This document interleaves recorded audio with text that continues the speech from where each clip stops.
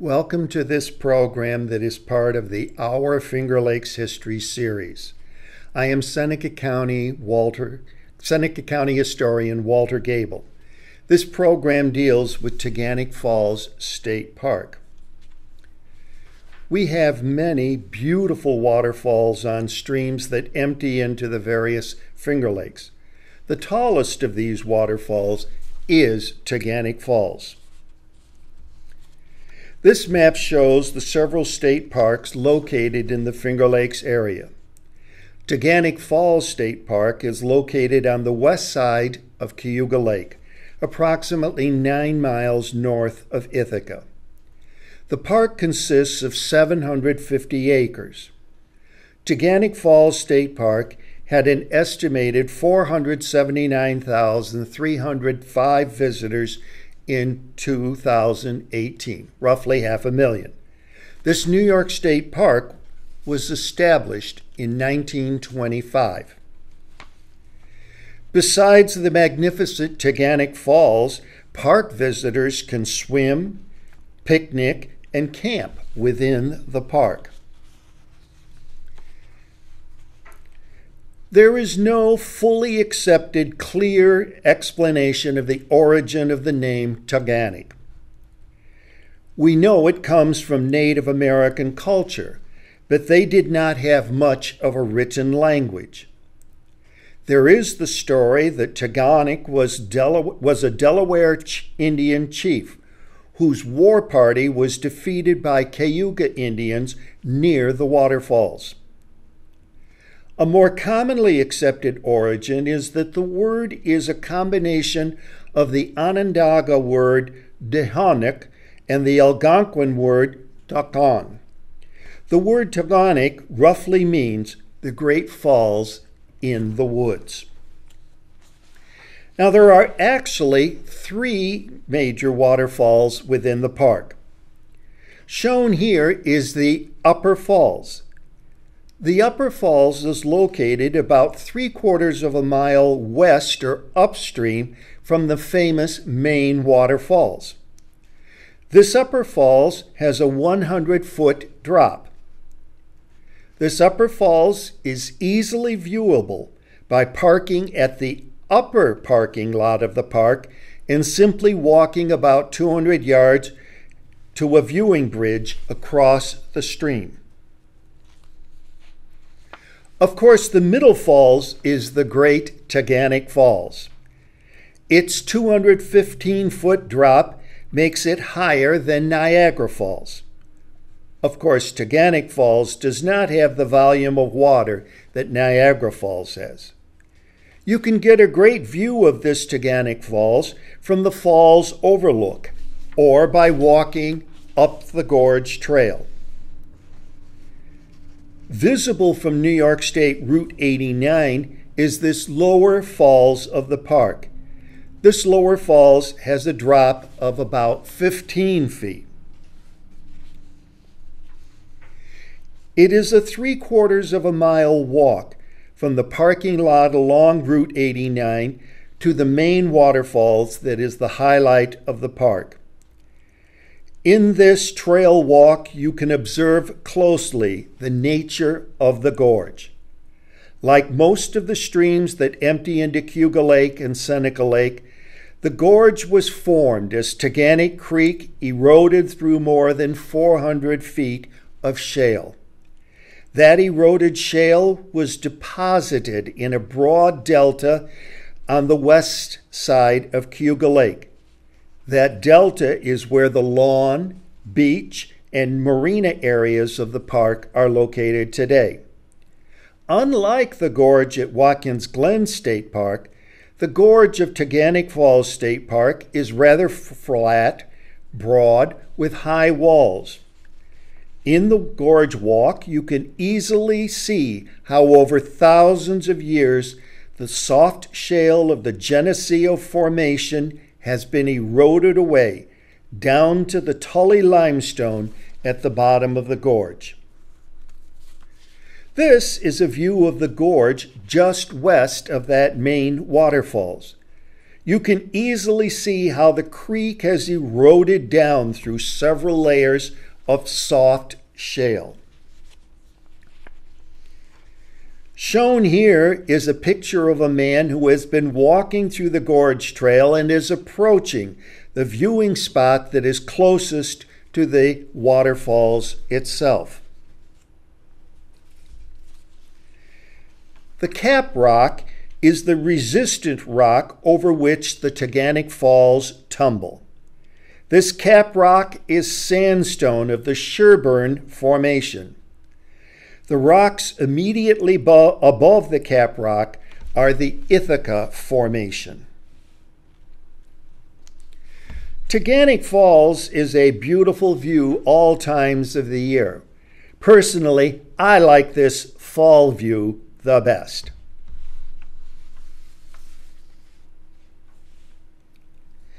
Under the right conditions in winter, the gorge around the falls becomes a beautiful ice covered site. This is another ice view.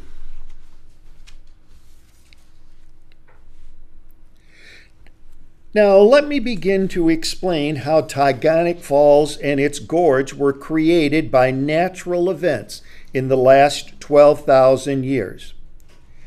There are basically two types of natural events that have created Taughannock Falls as we know it today.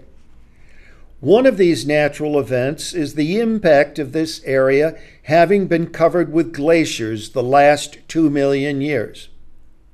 The other is the seasonal process of erosion of soft rock because of frost and freezing, followed by spring melting. Two million years ago, there were no Finger Lakes and no Taughannock Falls. Instead, there was a system of shallow river valleys where the lakes are today. Several times over the last two million years period, New York State was bulldozed by vast continental ice sheets or glaciers that were thousands of feet thick.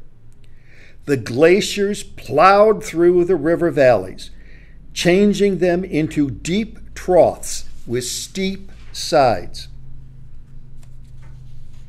The most recent glacier melted from the region 12,000 years ago, leaving Cayuga Lake and the 10 other Finger Lakes in deep glacial troughs. Dammed up by glacial deposits to the south and retreating glacial ice to the north, the melting water filled the steep sided river troughs. As the glacier retreated further north, the level of Cayuga Lake began to drop.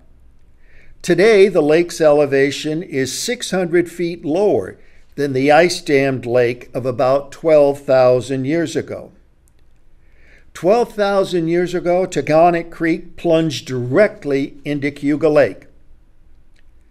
Taughannock Creek rather easily eroded away the shale cliffs of the creek. Stone by stone, the shale cliff hillside of the creek yielded to Taughannock Creek's tireless flow. The great waterfalls we so enjoy today is the result of Taughannock ero- Creek eroding away the shale layers three quarters of a mile back from Cayuga Lake. The soft shale layers are very susceptible to breaking up from freezing much more so than limestone. In winter, wet shale rocks freeze and fracture. The frost covered, excuse me, the frost fractured rocks crash from the cliffs any time of the year, widening and lengthening the gorge. Remember that initially Taughannock Creek emptied directly into Cayuga Lake without the 215 foot waterfalls that we have today. But the, today, the waterfalls is approximately three quarters of a mile away from Cayuga Lake because of the erosion of the shale layers of rock in the roughly last 12,000 years. During floods, Taughannock Creek washes mud and fallen rocks all the way to Cayuga Lake. When the creek meets the calm water of Cayuga Lake, nearly a mile from Taughannock Falls, the creek drops its cargo of mud and rocks. This has created the little delta called Taughannock Point, where the day use areas of the park are now located. This aerial view shows the gorge and the delta plain that juts out into Cayuga Lake. The delta plain was created by the rock and dirt that was carried down Taughannock Creek, especially during flooding, and deposited along the shore of Cayuga Lake. That delta plain today is the site of the picnicking and swimming areas of Taughannock Falls State Park. Now for some of the human history. Prior to the Revolutionary War, there was an Iroquois Indian settlement at Taughannock Point.